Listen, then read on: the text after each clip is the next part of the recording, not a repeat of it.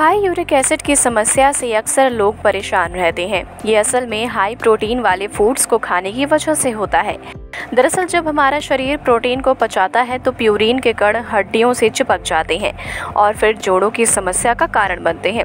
प्योरीन के ये कण सूजन पैदा करते हैं और जोड़ों में दर्द और सूजन का कारण बनते हैं। ऐसे में कुछ सब्जियों का सेवन फ़ायदेमंद हो सकता है, जैसे कि खीरा। तो चलिए आज के वीडियो में जानते हैं कि आखिर हाई यूरिक एसिड में आप खीरे का सेवन कैसे करें?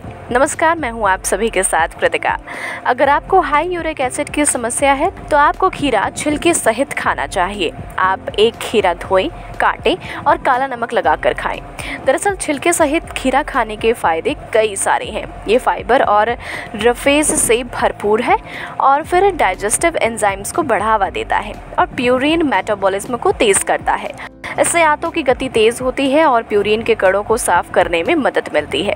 वहीं छाछ के साथ आप खीरा खा सकते हैं, जो कि हाई यूरिक एसिड की समस्या में कारगर तरीके से काम करता है। छाछ और खीरे का विटामिन सी स्क्रबर की तरह काम करते हुए प्यूरिन के कणों को साफ़ करने में मदद करता है। इसके अलावा छाछ उन्हें टॉक्सिन्स के रूप में शरीर से बाहर निकालने में मदद करता है। तो आपको करना ये है कि खीरा कद्दूकस कर लें और फिर इसे छाछ में मिलाकर पी लें। इससे आप काला नमक और जीरा पाउडर भी आप इसमें मिला सकते हैं। तो अगर आपको हाई यूरिक एसिड की समस्या है तो आप इन दो तरीकों से खीरे का सेवन कर सकते हैं। इससे आंतों की गति तेज होती है और फिर पेट साफ़ रहता है। इससे प्यूरिन मेटाबॉलिज्म भी सही रहता है। तो अगर आपको भी ये दिक्कत है तो खीरा ज़रूर खाएँ। उम्मीद है आपको आज की वीडियो ज़रूर पसंद आई होगी और भी ऐसे इन्फॉर्मेटिव वीडियोज़ को देखने के लिए आप जुड़े रहिए हमारे साथ। तब तक के लिए नमस्कार।